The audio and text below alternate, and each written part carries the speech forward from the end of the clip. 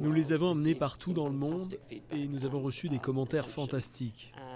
Je pense que le consensus est que les estimations pour les œuvres sont plutôt raisonnables. Et nous nous attendons à ce qu'elles se vendent très bien mercredi soir. Nous les avons emmenées à Moscou parce que la Russie figure parmi nos plus importants nouveaux marchés sur les 5 à 8 dernières années. Lors de nos dernières enchères en juillet, un tiers des ventes étaient russes.